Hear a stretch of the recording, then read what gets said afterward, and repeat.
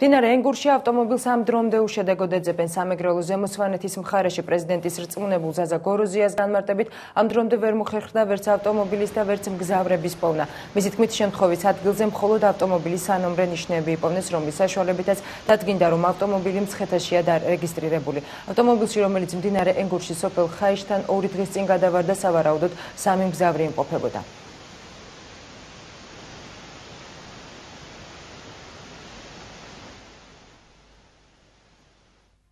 არის თელ პრაქტიკულად MCS-ი და მიმდინარეობს ზებნა. პრაქტიკულად ჯერჯერობით ვერ მოხერხდა, როგორც კი რაღაცა იქნება ეგრევე დამილეკავა. ვერ ვერ ვამბობთ რამდენი იყო და ვინ იყო, იმიტომ რომ ჩვენ გაგვაჩნია ყოველ და ყოველ მანქანის სანოვრე ნიშანი და ჩანთა ერთი რა დანარჩენი ჯერჯერობით ნაპოვნია პირერა.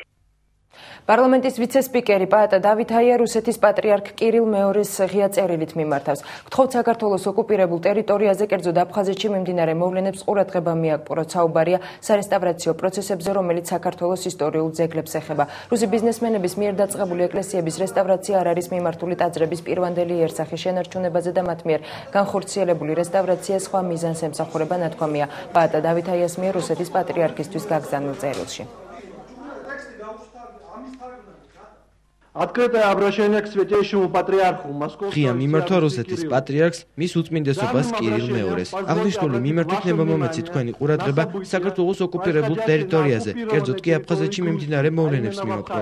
საუბარია ეგრეთ წოდებულ სარესტავრაციო პროცესებზე, რომელიც საქართველოს ისტორიულ ეკლესიურ ძეგლებს ეხება.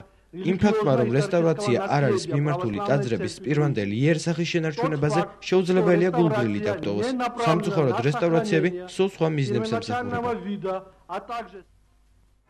შრომის ჯანმრთელობისა და სოციალური დაცვის ახალი მინისტრის დანიშნამდე ქრისტიან დემოკრატების აზრით სამინისტრო ორ დამოუკიდებელ უწყებად უნდა გაიყოს.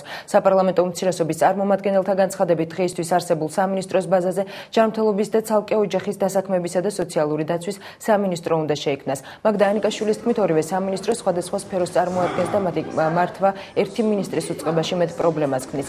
მათი თქმით ეს მოდელი ევროპის მასშტაბით უკვე აპრობირებულია და უმეტესწილად ჯანმრთელობის სამინისტრო დამოუკიდებელი უწყება. ამას გარდა ქრისტიან დემოკრატები მთავრობას ამ საკითხზე კონსულტაციების გამართვისკენ მოუწოდებენ. ქრისტიან დემოკრატები მოვითხოვთ, რომ დღეს არსებული შრომის ჯანმრთელობის და სოციალური დაცვის სამინისტრო დაიშალოს ორ უწყებად, შეიქმნას დამოუკიდებელი ჯანდაცვის სამინისტრო და ახალი უწყება ოჯახის დასაქმების და სოციალური დაცვის სამინისტრო.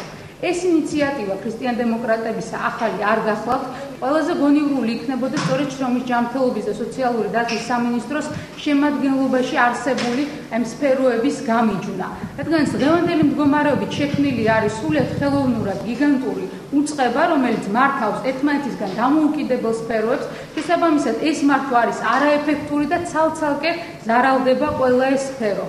მოგახსენებათ, რომ ყველაზე დაკნინებულ მდგომარეობაში დღეს არის ჯანდაცვა, რომლის დაფინანსებაც ვერ უძლებს ვერანაირ კრიტიკას და ეს მიზერული თანხები არ ყოფნის იმას, რომ ამ სფეროში განხორციელდეს რაიმე სერიოზული და მნიშვნელოვანი მოსახლეობისთვის საგრძნობი რეფორმები. Freedom House-ი სოფლიოში 65 ქვეყნის მაგალითზე პროფესიული კავშირებისა და მშრომელთა უფლებების მდგომარეობა აღწერა. ანგარიშის ავტორებმა შრომის პირობების საყოველთაოდ აღიარებული ნორმების სისტემური და მასშტაბური დარღვევების მიხედვით ქვეყნების ხუთი ჯგუფი შეადგინეს. თავისუფალი შედარებით, თავისუფალი ნაწილობრივ, თავისუფალი რეპრესიული და მეტად რეპრესიული. ანგარიშის თანახმად დედამიწის თითქმის მეოთხედ ნაწილში შრომის რეპრესიული კანონმდებლობა მოქმედებს. საქართველოს კვლევაში ნაწილობრივ თავისუფალ ქვეყანათა რიცხვს მიეკუთვნება. Freedom House-ის ანგარიში, რომელიც ავტორიტეტული ამერიკული ორგანიზაციის ოფიციალურ ვებგვერდზეა გამოქვეყნებული. დეტალურად არის არ არის აღწერილი საქართველოსში არსებული ვითარება. მშრომელთა უფლებების დაცვის თვალსაზრისით, თუმცა ცნობილია ის ინდიკატორები, რომლებიც უარყოფით გავლენას ახდენენ ქვეყნის რეიტინგზე. ერთ-ერთი მათგანი პროპკავშირში გაწევრიანების გამო დასაქმებულთა დევნას შევიწროვება. ჩვენი ქვეყნის დაბალ შეფასებას შრომის კანონმდებლობაც განსაზღვრავს, რომლის შეცვლისკენ საქართველოს ხელისუფლებას ევროკავშირის წარმომადგენლობამ არაერთხელ მოუწოდა. საუბარია საქართველოსში მოქმედ შრომის კოდექსში დასაქმებულ მიღებულთა უფლებების არასათანადო დასახვაზე. Freedom House-ის ანგარიშს პროფკავშირების თავმჯდომარე ეხმაურება ირაკლი პეტრიაშვილის განცხადებით ის იზიარებს კვლევის შედეგებს, თუმცა აღნიშნავს, რომ საქართველოს ერთი საფეხური დაბალ ზონაში მოხვედრას შესაძლო იყო ამის მიზეზად პროფკავშირების თავმჯდომარე დისკრიმინაციულ შრომის კოდექსს ასახელებს. Freedom House-მა მსოფლიოში 165 ქვეყნის მაგალითზე პროფესიული კავშირებისა და შრომელთა უფლებების მდგომარეობა აღწერა. სიაში საქართველოს ნაწილობრივ თავისუფალი ქვეყნების სიაში მოხვდა. ზოგიერთ შემთხვევაში შეიძლება რომ ერთი პუნქტით კიდევ ჩამოქვეითებულიყო და ნაწილობრივ რეპრესიული ნამდვილად არის საქართველოსი პროკავშირული მოძრაობა და შრომითი სფერო ძალიან ბევრია სარჩელები და პროტესტი ჩვენგან იმასთან დაკავშირებით რომ შრომის კანონმდებლობა არის შუა საუკუნეებრივი ველური კაპიტალიზმის დამნერგავი და რეპრესიები ხორციელდება პროკავშირებზე, პროკავშირის წევრებზე, პროკავშირებში გაწევრიანების გამო. საპარლამენტო უმრავლესობა ქვეყნის პრეზიდენტ მიხეილ სააკაშვილთან ერთად დღეს ანაკლიაში შეიკრიბება უმრავლესობის გასვლის ხდომაზე, რომელსაც პარლამენტის თავმჯდომარე დავით ბაქრაძე დაესწრება, წინასწარი ინფორმაციით სამომავლო გეგმების შესახებ ისაუბრებენ. ასევე შიდა და საგარეო პოლიტიკისა და ქვეყნის უსაფრთხოების საკითხების განხილება. პარლამენტში კი საშემოდგომო სესია 7 სექტემბერს ბიუროს ხდომით გაიხსნება. მე სხვა შორის აი დინო პატრიციო რომელიც აშენებს ბათუმში ახლა 45-50-იან შენობას ვიყავით და იქაც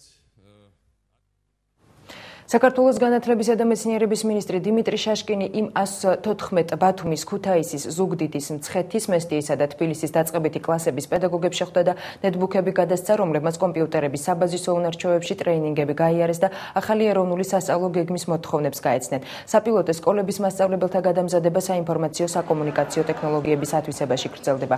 ტრეინინგების შედეგად პედაგოგები კომპიუტერების საშუალებით გაკვეთილის მომზადებას, მასალის შინაარსის მართვა შეძლებენ.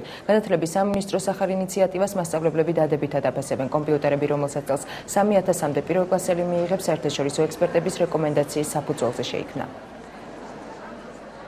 საქართველოში უკვე არის ჩამოტანილი 3000 ნეტბუკი, რომელიც დაურიგდება 15 სექტემბერს პირველ კლასელებს ბათუმის სკოლებში, ზუგდიდის სკოლებში, რამდენიმე სკოლაში, თბილისში, ქუთაისში, წეროვანში და მესტიაში. ეს არის ძალიან მნიშვნელოვანი პროექტი, რომელიც დაგვეხმარება ჩვენ რომ ძალიან სერიოზულად ავწიოთ ხარისხი განათლების ჩვენ ქვეყანაში. გარდა ბავშვების კომპიუტერებს აგრეთვე მიიღებენ მასშტაბლებლები, კლასის დამრიგებლები, რომელიც ეხლა გადიან სპეციალურ მომზადებას თუ როგორ გამოიყენონ ეს ნეტბუქები სასწავლო პროცესის დროს. პირველი კლასის მასშტაბლებმა მასშტაბლებმა გაიარეს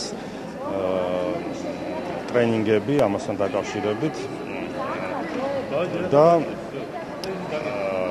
იგეგმება კიდევ მასშტაბთა პროფესიული განვითარების ეროვნული ცენტრი და ინტელი გეგმავენ კიდევ ტრენინგებს. ეს ისეთი რაღაცა არის, რომ ბავშვები მაინც ხალისდებიან და უკეთესად ისწავლიან გაკვეთილებს დამატებით, რაც იქნება აუცილებლად უფრო კარგად შეასრულებენ სავარჯიშოებს და ჩემი აზრით უნდა იყოს მომავალშიც და დაინერგოს უნდა ეს.